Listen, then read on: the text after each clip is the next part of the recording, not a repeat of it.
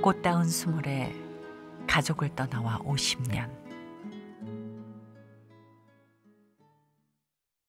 말리 타국에서 몸져 놓은 파독 간호사 김 할머니가 평생 그리워한 음식은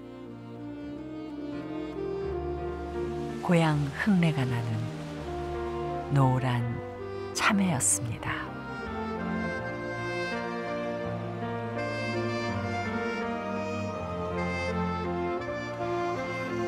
누군가의 어여쁜 딸이었던 시간 속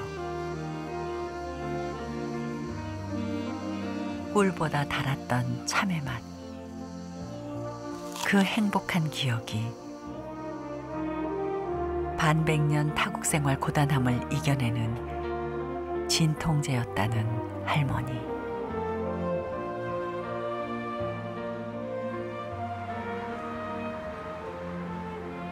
누나가 아프다는 소식을 듣고 독일로 간 동생의 여행 가방엔 참외 두 개가 들어 있었습니다.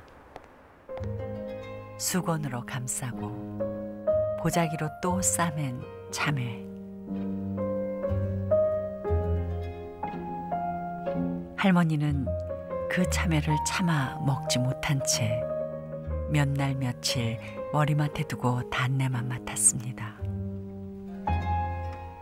참외는 시간을 거슬러 돌아가고 싶은 할머니의 청춘이고 추억이며 그리움이었던 것입니다.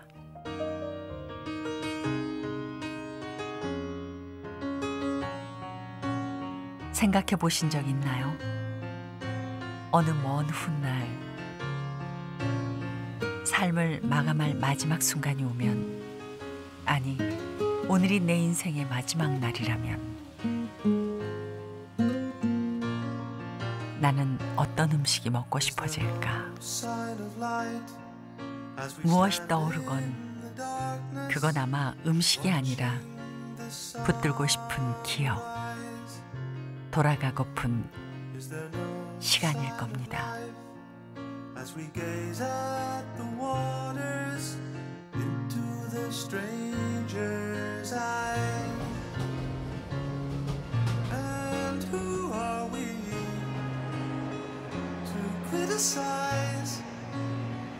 Or scorn the things that they do.